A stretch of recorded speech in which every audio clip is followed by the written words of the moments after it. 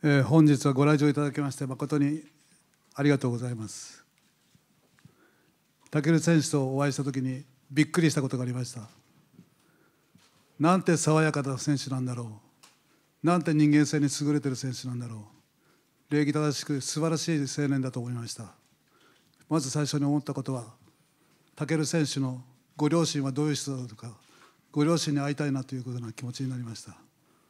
今日お母さんに会わせてくれてありがとうございます。さすがに皆さんもうご存知かもしれませんがこの人間性だけは世界をまとめていく格闘技が進んでいくための人間性が必要だということが彼によって実現していくと思います。また事前事業というのは非常に大変なことです。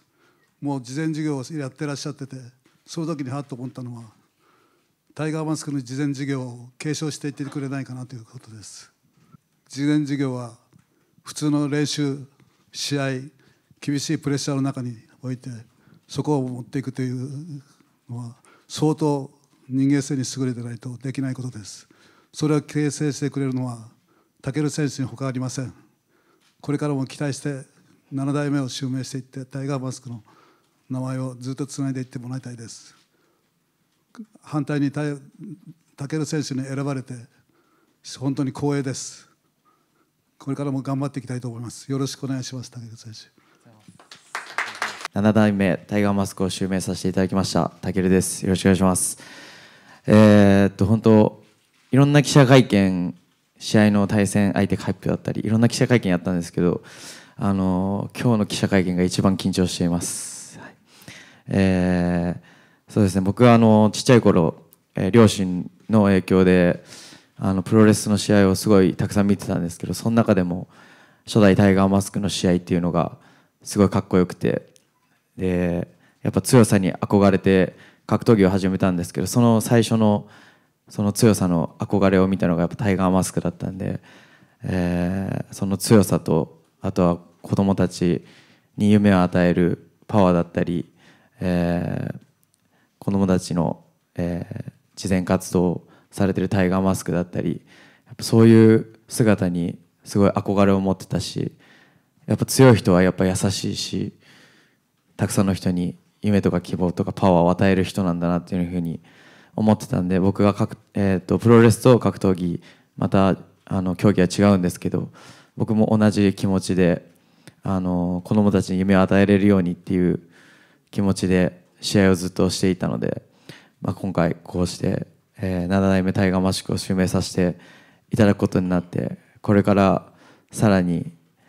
このタイガーマスクという名前をもっともっと、えー世界に広げてでたくさんの人にたくさんの子供たちにパワーを与えれるような選手でいたいなと思うんで、えーこれからも頑張りたいと思います。7代目タイガーマスクのマスクをお披露目ください。お願いします。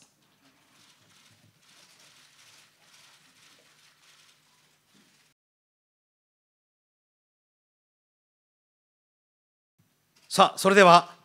早速佐山悟様から武尊選手へマスクの授与をしていただきたいと思います。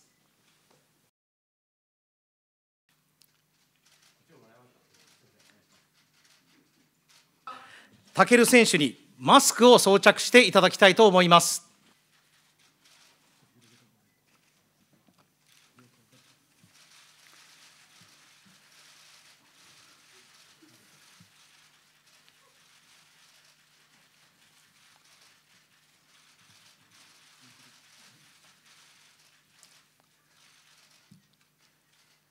よろしいでしょうか。それでは正面向いていただきましょう。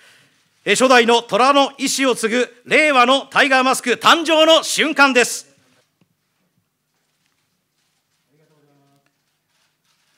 すごい嬉しい気持ちと、あのー身が引き締まる気持ちですね。はい、佐山さんどうでしょうか、その姿は。あのマスク姿が最高に綺麗でびっくりしました。そそこにも素質があったんだなと思いました。ありがとうございます。武尊選手すごい絶賛ですね。いやいや嬉しいですね。はい、幸せです。はい。デザインもどうですか？ちょっとまたカラーリングとかその他も違いますねデザインも。そうですね。あのちょっと僕のラッキーカラーを入れていただいてあの作っていただきました。あ最高です。りがとうございます。えきっと大ファンのご両親も喜んでいると思います